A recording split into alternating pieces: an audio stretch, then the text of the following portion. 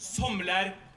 بعد انقطاع دام أربع سنوات المئات من شبيبة حزب العمال النرويجي يشاركون مجددا في المخيم الصيفي لجزيرة أوتويا التي شهدت عام 2011 مجزرة نفذها اليميني المتطرف أندرس بريفيك حينما فتح النار على شبيبة الحزب اليساري في حادث أودى بحياة 69 شخصا جلهم من الشباب. قيادي في شبيبة حزب العمال يقول بالنسبة لي انخرطت في المخيم لسنوات عديدة سابقة لكن يبقى الحادث بمثابة لطمة قوية وهو ما يدفعنا للتفكير في عمل شيء ما.